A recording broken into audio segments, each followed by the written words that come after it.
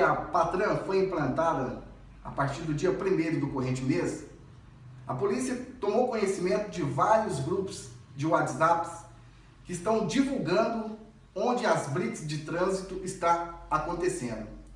Muitas pessoas estão fazendo parte desses grupos e algumas delas estão tirando fotos do local que está ocorrendo a blitz e divulgando nos grupos de WhatsApp.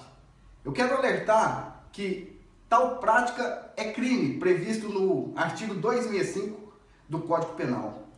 Hoje mesmo a gente tomou conhecimento do fato de uma pessoa que tirou fotos dos militares da viatura e divulgou nos grupos relatando ou orientando as pessoas para não passarem em determinado local devido à blitz que está ocorrendo naquele momento.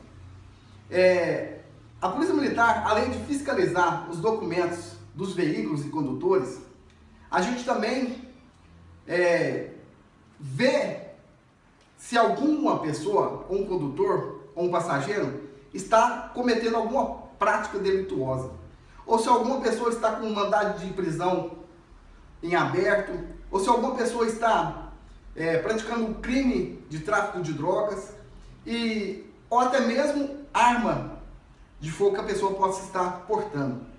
E quando as pessoas divulgam nos grupos onde estão ocorrendo as blitz de trânsito, essas pessoas pod podem estar beneficiando um, um, infrator da lei, que poderia estar passando ali por essa blitz, seria abordado, constaria contra ele mandado de prisão em aberto, ele poderia estar na prática de, de algum crime, poderia estar armado no intuito de cometer um crime.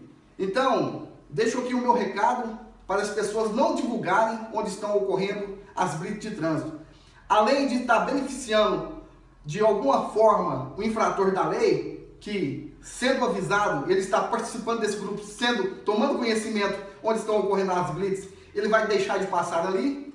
Além de a pessoa estar fazendo esse ato de, de estar de uma certa forma, digo assim, ajudando o infrator da lei, essa pessoa também está cometendo um crime. E hoje mesmo a gente redigiu um REDS, redigiu um BO, de uma pessoa que divulgou fotos da blitz de trânsito, orientando as pessoas para que não passassem determinado local.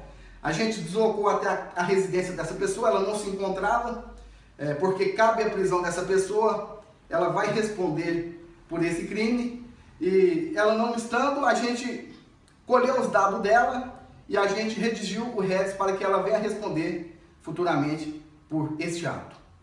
Boa tarde a todos, Cabo Carlos, da Patram, Polícia Militar.